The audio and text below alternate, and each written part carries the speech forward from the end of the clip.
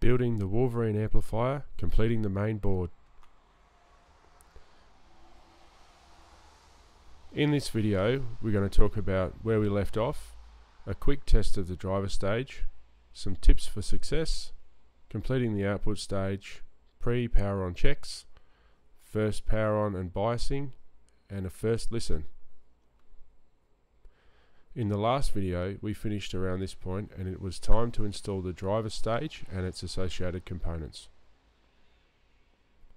I decided to prepare the heatsinks for the driver transistors and I'm using the 5 unit high 400mm deep UMS heatsinks from the DIY audio store. These are pre-drilled and there is now some available specifically for the Wolverine. I encourage you to check them out on the DIY audio store website. I did a test fit with some nice blue Wolverine boards. I used an old TO126 transistor to test fit the driver mounting holes. Perfect fit. Time to mount the spacers. Unfortunately, the 10mm spacers I chose had threads which were too long. Time to break out the Dremel. The Dremel cutoff wheel makes short work of this. Please ensure to put an M3 nut on the spacer all the way up to the shoulder first. So after you cut the thread, you can wind the nut off and it will clean up the damaged part of the thread, so as not to cross thread your heatsink. I chose to Loctite the standoffs in so the PCB screws would not loosen them. Test fitting on the spacers. This allowed me to use the drill press to mark out the mounting holes I needed to drill and tap. This method gave quite precise marking for the holes I needed to drill by just gently touching the drill on the heatsink and drilling about 1mm into the surface of the heatsink with a 3mm drill. Make sure you change to a 2.5mm drill before drilling the threaded holes. I used the same technique for the driver transistor mounting, but this time using a 6mm drill, only drilling down just enough to make sure a 1mm diameter mark. Notice the marks which I'll use to center the 2.5mm drill for the threaded holes. Okay, here's a trick to line up the holes exactly on your heatsink. Get your two and a half mil drill bit that you're going to use for the M3 fasteners. Put it in your drill chuck.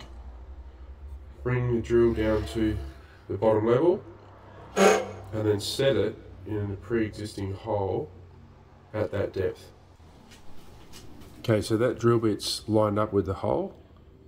It's not tight in the in the drill chuck yet. So I'm going to bring this down and you'll note it didn't hit the bottom. So I'll just push that down to the bottom. The drill's all the way on its bottom stop there. That's all the way down. The heatsink's where I want to be.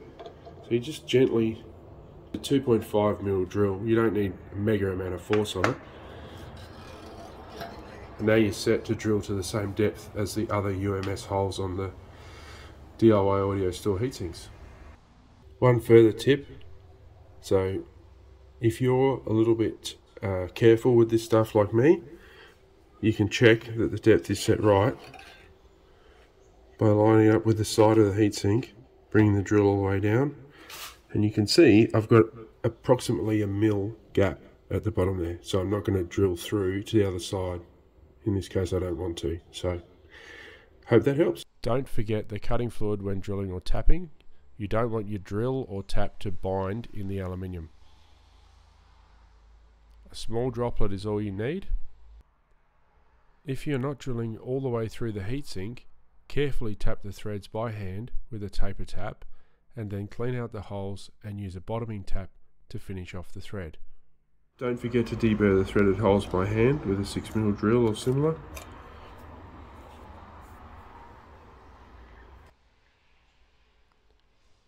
Clean all the oil off and check the threads. Compressed air helps to remove all the swarf and tapping remnants from the holes. Nice and clean and ready for use. Test fit the PCB above and check the alignment. This is the way the drivers will be mounted if you're mounting directly to the main heatsink. The boards are nearly ready for mounting apart from the output coil, fuse holders, drivers and output stage. Time for a clean.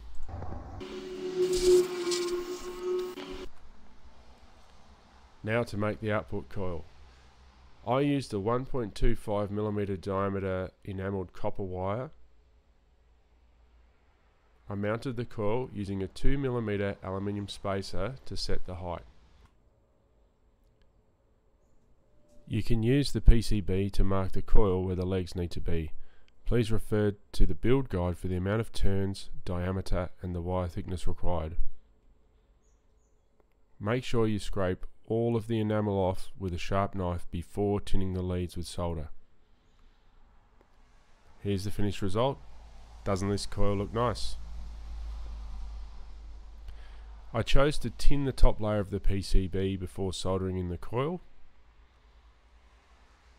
I chose to apply a coat of epoxy to the inside of the coil for mechanical strength and to avoid vibration under load. I used a Selleys 5 minute araldite. You don't need much. Ensure the solder has wetted and flowed to the top and bottom of the PCB. And note the vias nearby have solder flowed through on both sides also. Make sure your terminals have good solder connections also. Don't forget to choose a feedback path to solder.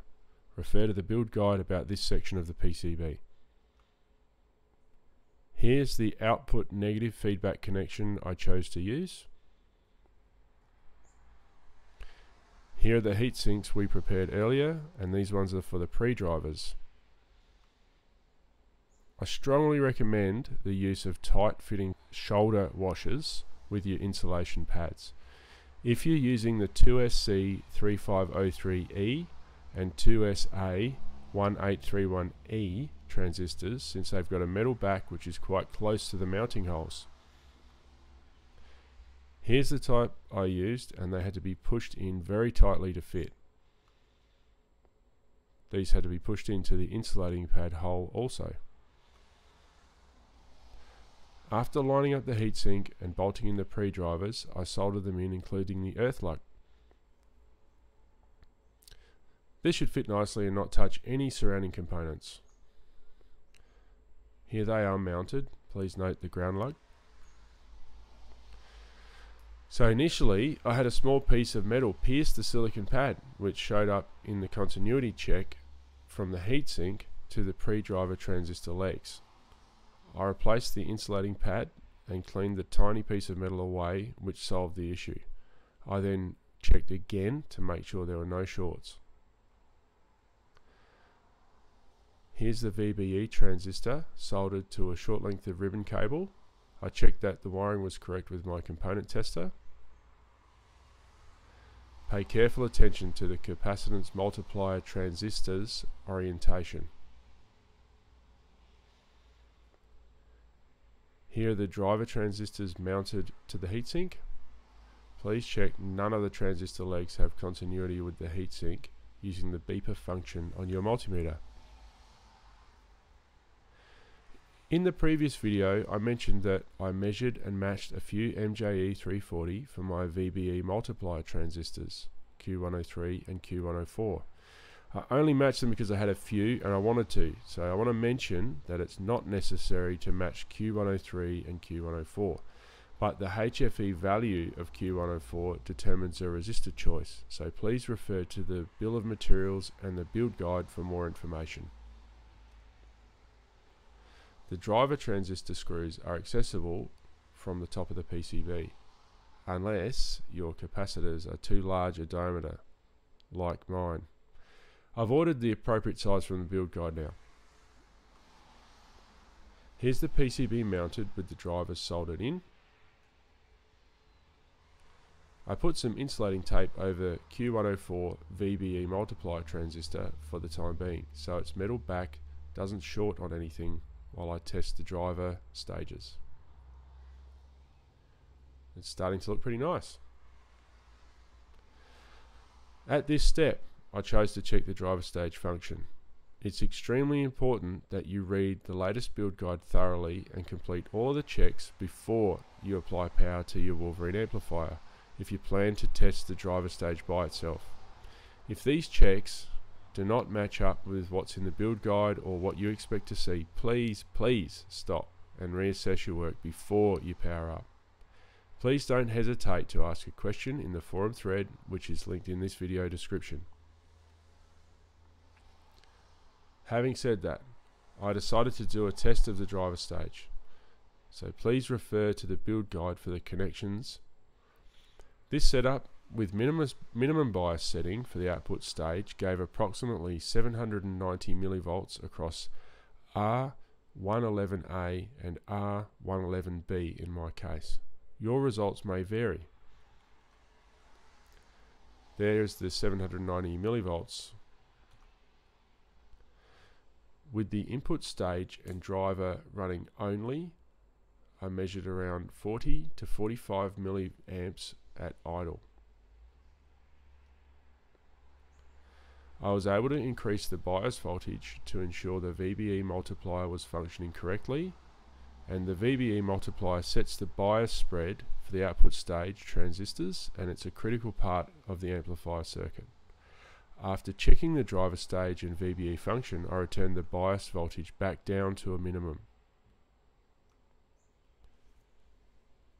Here's a, here is the bias being set at a minimum. The CCS1, 5 volts. You know, not much DC offset there. There's the house wire.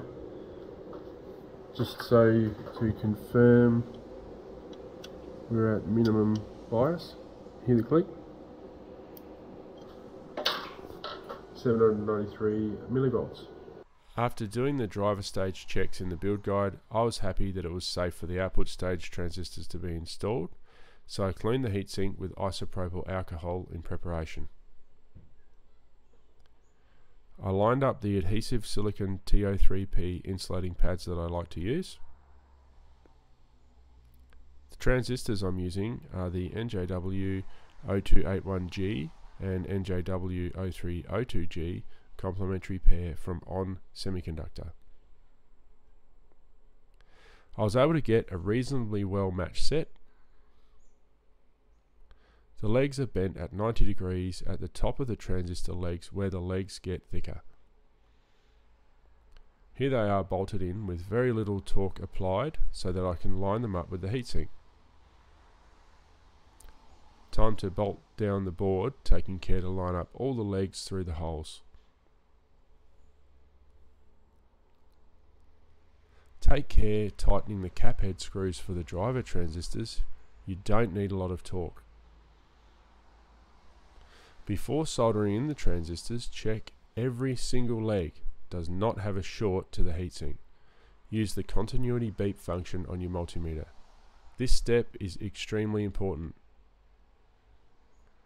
I'll say it again, every transistor leg needs to be checked to make sure you do not have a short to your heatsink. Okay, time to solder all the transistor legs in. Check for shorts after soldering the output transistors in also. I chose to mount Q104 directly on top of an output transistor with an insulating pad. I would highly recommend to check you have a small amount of flow through on the board on each transistor leg to make sure you have a strong connection on each transistor leg. You can inspect the transistors from this angle. Don't go overboard here, but a little flow through on each leg is okay here.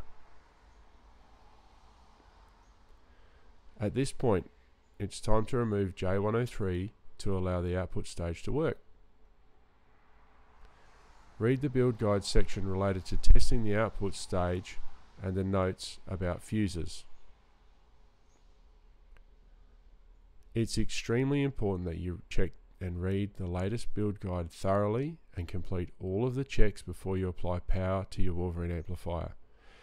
If these checks do not match up with what's in the build guide or what you expect to see, please, please stop and reassess your work before you power up. Please don't hesitate to ask a question in the forum thread which is linked in this video description. Well, here's the whole amplifier with power applied but no bias applied yet. I carefully increased the bias until I had approximately 44 to 45 millivolts between the TP101 and TP102 test points. So follow the build guide in regards to biasing the output stage. It will draw around 1 amp cold and this will reduce to around 400 to 500 milliamps when warmed up due to the thermal compensation of Q103 and Q104 in the VBE multiplier circuit. I let the amp get to thermal equilibrium and then I reset the bias. Please follow the burn-in procedure in the build guide for how to do this step. I was really happy at this point and I wanted to play some music, as you may have seen in one of my other videos a few days ago. So I checked if the amplifier worked using my signal generator and my oscilloscope and I'm happy to say all was working as expected.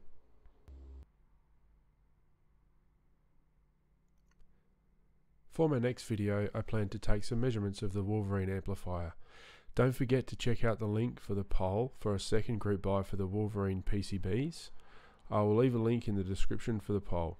Please register your interest if you missed out on the first round or if you simply want more Wolverine printed circuit boards. Thanks for watching, please like and subscribe and don't forget the subscriber competition. I plan to draw the winner next week. Leave a comment if you want to be in the draw and leave your DIYaudio.com username in the comment section. The boards to win are pictured below.